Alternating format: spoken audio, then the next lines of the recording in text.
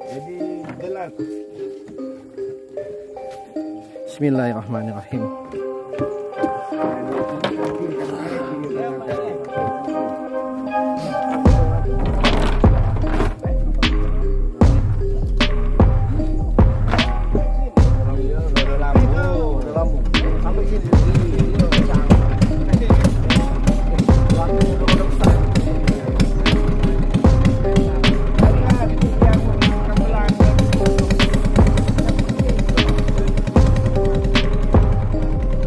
Assalamualaikum warahmatullahi wabarakatuh Salam sedulur dari Mang Dayat Kali ini Mang Dayat lagi ada di Campang Tigo Hadirnya Mang Dayat di sini masih dalam rangka melanjutkan tugas dari Universitas Terbuka Palembang dalam penelitian mengenai pemerintahan marga di Oku Timur.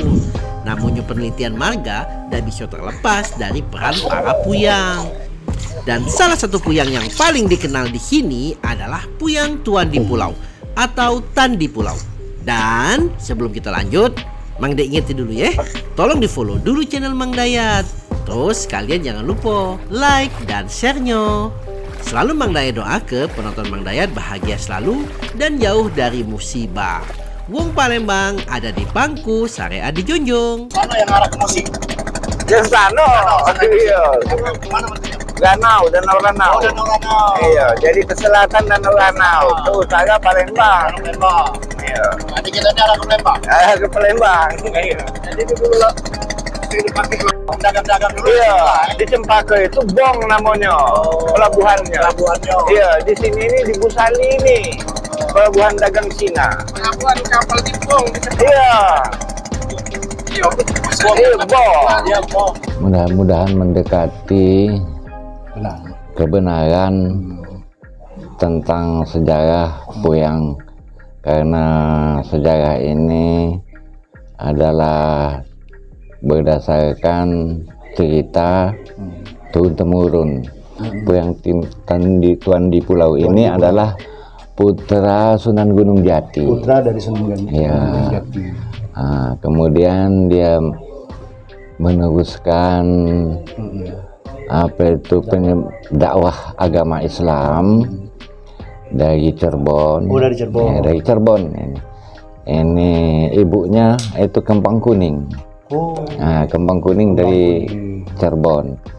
Nah, kemudian beliau ini melanjutkan perjalanan dari Cirebon ke Lampung. Lampung. Nah, di Lampung itu disebut Pangeran Bambu Seribu. Jadi dia mengajarkan yang bambu macam bambu gila kalau sekarang itu. Nah, terus dia langsung menyusul sungai ke Hili. Menurut cerita beberapa kali beristi Nah, sampai di sini istri yang terakhirnya. Apa yang sebelah itu mana istrinya? Iya, Oh, namanya Rubiah Bulan. Rubiah. Bulan. Ah, Berarti ini suami Iya, istri. Rubiah Bulan. Sampai dia ke Palembang membantu Hmm. Kiai Gede Ing Suro Hmm. ah, menyebarkan agama dakwah di sana di Palembang. Di Palembang. Iya, dia pakai perahu. Dia berangkat ngajar itu menurut aliran sungai. Sungai.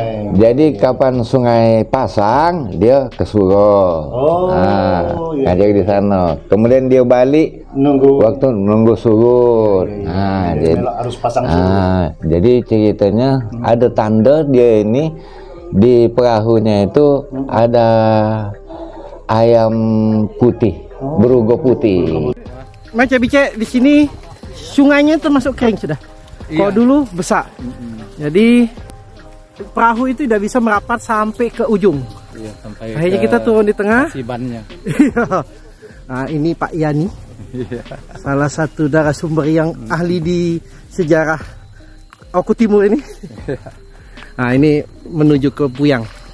Yang Ya, kan beliau ini ya, dia ini katakanlah penyebar agama Islam. Ya mana-mana mulai dari Lampung bahkan ada di Dendang Belitung itu ada makam Tuan di Pulau. Hmm. tapi setelah diselidiki rupanya tempat sejadahnya Oh, Dendang Belitung sana. Hmm. Ngajar- Petilasan dia, sampai ngajar ngajak sana. Iya, betilasannya. nah jadi Kalau menurut cerita, setiap ada tanjungan, setiap ada tanjungan itu kan ada tanah menyorok, ada dusun, itu pasti ada muridnya. Oh. Bahkan katanya setengah kisahnya yang Kiai Morogan itu termasuk murid beliau ini. Mm-mm. Menurut Iya, kisah. kisahnya. Tahu kebenarannya kita tidak tahu. Mm-mm. Nah, Iya. nah, jadi setiap ada itu pasti ada keramat-keramat yang anak murid beliau.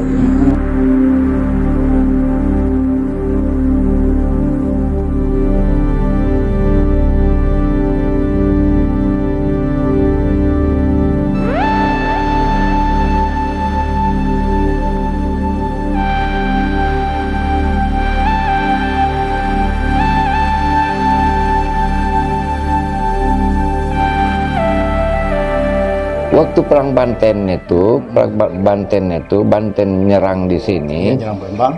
ya, yang Palembang. Raja Banten itu meninggal. Iya, iya. Tinggal lagi ketemu Panglima dengan Panglima. Iya. Datanglah ini poyang tuan di pulau ini. Ah. Katanya kamu itu dua saudara kembar. Coba buka dulu topeng kamu. Ah, kapan dibuka? Memang saudaranya ya kembar.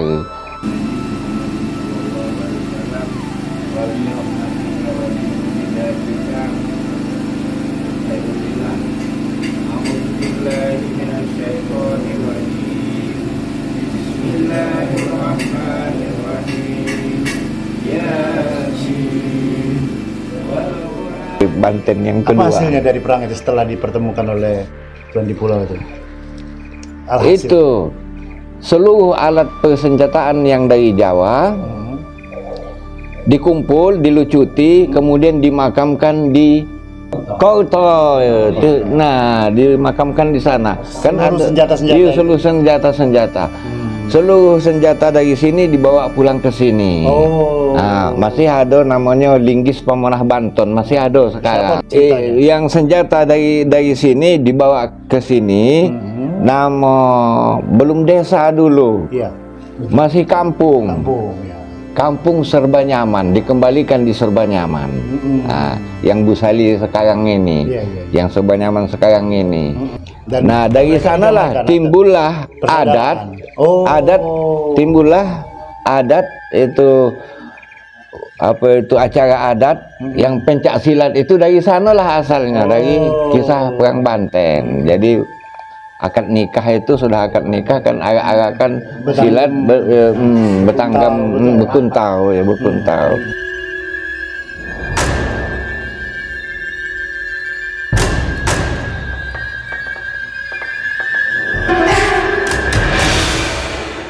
Ada lagi sambungannya yang waktu perang Banten. Jadi kisahnya dia waktu ke sini dari Palembang kembali lagi ke sini. Oh. Dia ini kan naik perahu, numpang perahu. Numpang perahu. Nah, jadi numpang perahu dia ini nimbo baik duduk di tengah kan. Nah, jadi uang tukang satang sama tukang ini itu tukang kayuhnya itu marah kan. Katanya bapak ini Lah numpang. Iyalah numpang. Cuman Eh, nyedok baju iya, aja. Iya. Tidak berat maksudnya pekerjaan dia. Nah, waktu betanak nasi, dia cuman numpang sebiji bae nasi, ketan hitam. Nah, ada perjanjian. Am nasinya jadi hitam galo, katanya jadi ketan hitam. Mbak kau. Makanlah. Punya aku. Ah. Nah, amun nasinya Putih. putih, Punya kamu. eh, punya kamu. Nah, jadi waktu sudah masak dibuka, jadi hitam galo. jadi nasi dia. Nah, tambah ada setuju yang wong nyatang sama wong yang berkayuh itu. Iya, iya. Kata yang ini, amun kamu keberatan, katanya pacaklah aku, katanya besatang. Iya, Aduh, Ngambillah dia ini nyabut bae ini dari cawang. buluh cawang itu bambu. Nah. Tako akar-akarnya dicabut, disatangkannya telabuh di Banten. Satu kali nyatang dorongan nih. Ada. Mm-mm. Jadi sampai ke Banten itu tinggal pala. Ini baik, pala perahu itu baik. Yang lainnya putus memutus di perjalanan. Dengan cepet nih ada. Iya Kisah itu. kisahnya sampailah dia di Banten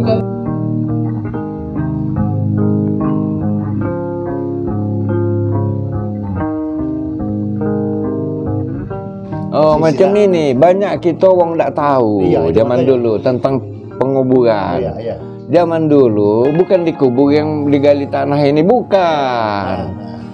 Nah, jadi raja-raja dengan wong orang yang mempunyai karomah Iya. dihormati itu Dicari tempat tinggi.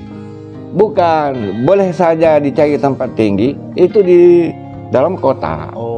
Kemudian upacara keliling. Kan penghormatan ap- kamu di dalam Islam itu bukannya duduk, Iya, penghormatan terakhir itu berdoa sambil tegak. Hmm. Nah, jadi saking sayangnya orang zaman dulu diambilkan tanah. Nah, dionggokkan, Oh, ditinggikan. Nah, Sehingga jadi tanah ini iya. tinggi. Bukan ditimpa dengan tanah, bukan. Oh ini junjungan kuat. Yang tadi katanya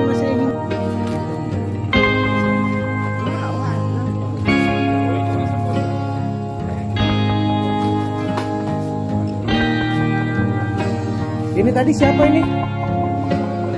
Tuan besar.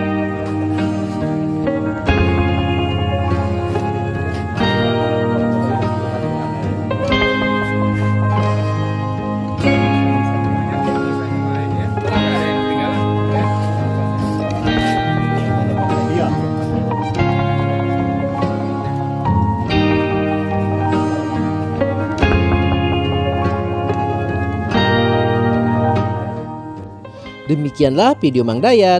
Mudah-mudahan bisa nambah kasana pengetahuan kita tentang kota Palembang dan Sumatera Selatan pada umumnya. Kalau Mang Cek Bicek senang dengan video Mang Dayat, tolong di like dan komen membangunnya. Share juga kalau menurut Mang Cek Bicek bermanfaat. Kalau ada yang kurang berkenan baik dari narasi ataupun video, Mang Dayat mohon maaf. Kepada Allah Mang Dayat mohon ampun.